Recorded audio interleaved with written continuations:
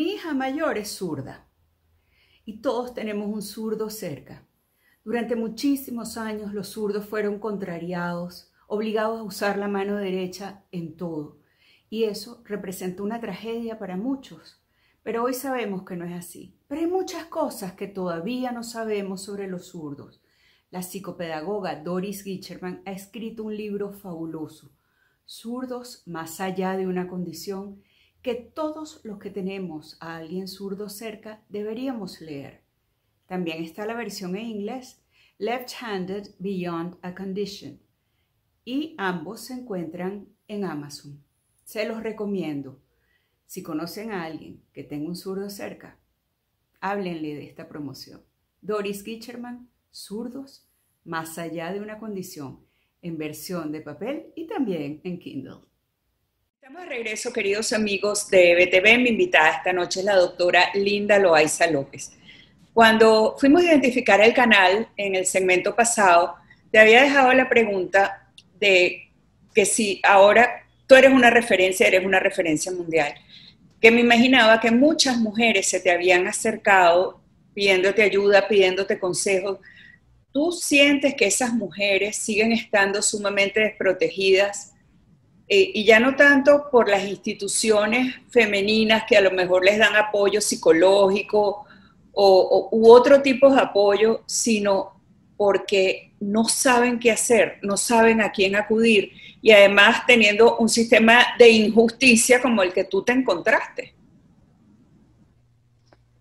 Realmente eh, las organizaciones, las ONG de derechos humanos son las que constantemente apoyan eh, los derechos de las mujeres y el avance que hemos tenido, el desarrollo, las grandes luchas de los derechos y el progreso de los derechos humanos de las mujeres se ha logrado gracias al apoyo de la sociedad civil y las ONG principalmente activistas. Em, si bien es cierto, pues no conseguimos respuesta ante las instituciones, ya lo vemos cuando la cifra de femicidios ha incrementado.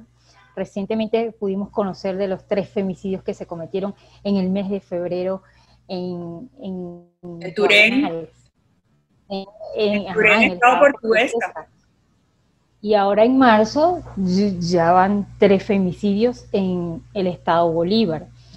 Estoy hablando solo de, ese número que es exacto y, y, en estados diferentes. Sin embargo, las cifras son mayores. Y bueno, no hay respuesta. ¿Qué quiere decir? Que cuando el sistema judicial permite que los hombres agresores torturadores y violadores estén libremente en las calles, facilita, permite que estos hombres sigan cometiendo este tipo de delitos, porque si los mismos fueran sancionados cuando cometen un delito, le enviaría un mensaje a la sociedad que los hombres no pueden cometer este tipo de delitos porque son sancionados. No, pero por ejemplo, desde mi caso, hace 20 años, el sistema le está enviando un mensaje claro a la sociedad, comete delito y siempre vas a estar absuelto. Ese es el mensaje que le envían la impunidad. las instituciones a la sociedad. Entonces allí vemos, la, la, violencia comienza con un daño psicológico, pero perdura el, el, estallido, ya es el femicidio. Y por eso vemos la Y tú te salvaste de bromita, porque a ti te encontraron agonizando. Bueno, no me encontraron, yo pedí auxilio y bueno, Posteriormente las autoridades me rescataron.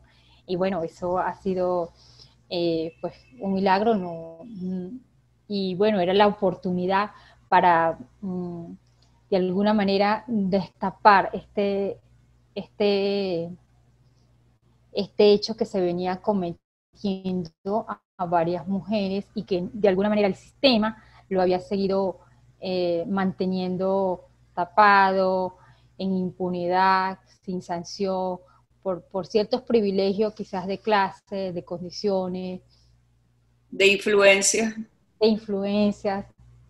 Ahora fíjate una cosa, Linda, tú, ah, ahorita hablamos de Turén, Estado portuguesa, y por ahí no es por donde anda tu agresor, porque leí en el estímulo un artículo muy largo, muy documentado, de una joven que fue novia de él, que también fue torturada, como fuiste, quizá no tanto como tú, pero porque tú pusiste resistencia, ella era medio novia de él, pero hacer novia o ser pareja de un hombre no lo habilita para que, para que maltrate a la mujer. Y eso lo tienen que entender los hombres. La sociedad tiene que entender eso, que el hecho de que seas novia, que seas pareja, que seas esposa, no te permite. Cuando la mujer dice no, es no, y punto. No puede llevarse un acto eh, violento, eh, no, no, un acto sexual no permitido, es decir, una violación.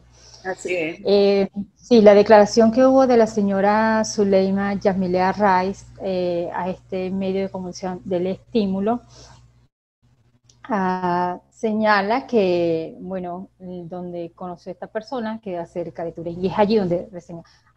lo que creo entender es que ella vio estos mm, cómo, se sensibilizó y decidió romper el miedo porque vio que en su, en su, en su entorno ahí estaba ocurriendo este tipo de, delitos y aunque ya antes me había contactado, esta vez fui contactada eh, para, para hablar, para dar su testimonio públicamente. Desconozco en qué estado o en qué país se encuentra el agresor o el torturador. Realmente eso es responsabilidad del Estado venezolano quien le ha permitido mantenerse en impunidad y el, responsable es el Estado si éste estuviera cometiendo este tipo de delito en contra de otras mujeres.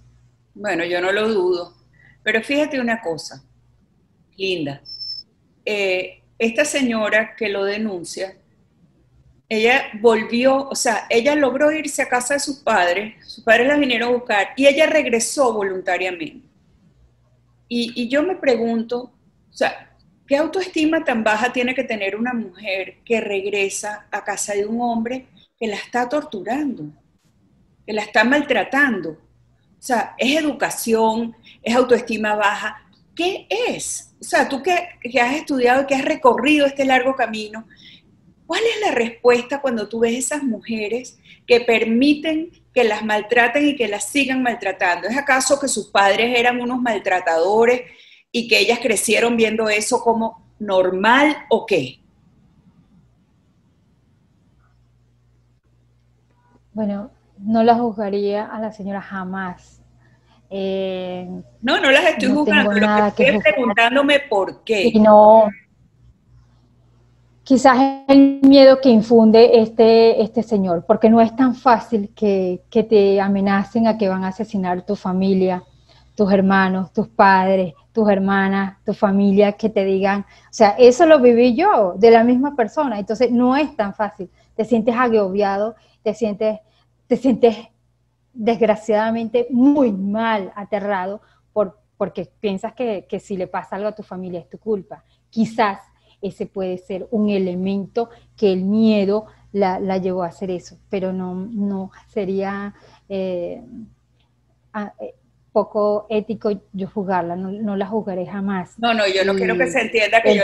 Lo que guardó es parte, el, el silencio que ella guardó durante todo este tiempo eh, ahí se evidencia el miedo, el terror que este señor infundó sobre ella para que no hablara, para que no dijera. Entonces yo, yo baso eso simplemente. ¿Y cuál fue el detonante? Pero yo celebro, pero yo, celebro que ella haya decidido denunciar públicamente. Yo también, pero, este pero ¿cuál fue el detonante? ¿Qué la hizo denunciar? ¿Qué la hizo cambiar de opinión con respecto a todo lo que había, eh, todo el silencio que había guardado durante tanto tiempo?